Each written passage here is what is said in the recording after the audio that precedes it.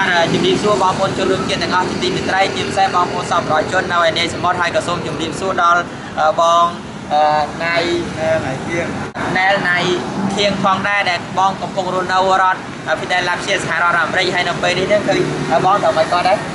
មួយបាទត្រូវជាមួយរបស់គាត់ហ្នឹងបាននាំយកថវិកា100ដុល្លារហ្នឹងគឺមកផ្ដល់ជួបអ្នករាយការណ៍ពិសេសតែម្ដងហើយតើថវិកាហ្នឹងគាត់ ឧបត្ថម្ភដល់អ្នករាយការណ៍ពិសេសដើម្បីអីទេបាទអដើម្បីជួយទិញម្ហូបអាហារជួយពួកគាត់ពេលដែលគាត់គាត់ធ្វើបាតកម្មនៅបាទសម្រាប់ទូតយួនហ្នឹងបាទ ហ្នឹងហើយជាការពិតគឺ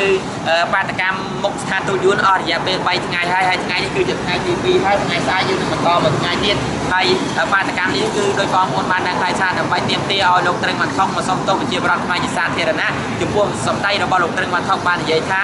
ទឹកដីកម្ពុជាក្រោមជាទឹកដីរបស់យួនហើយប្រជាប្រដ្ឋខ្មែរយើងមិនសុំកាត់ទេហើយស្អែកហ្នឹងនឹងបញ្ចប់ប៉ុន្តែមិនមែនបញ្ចប់រហូតទេបញ្ចប់វគ្គទី2យើងវគ្គទី1នេះថ្ងៃទី21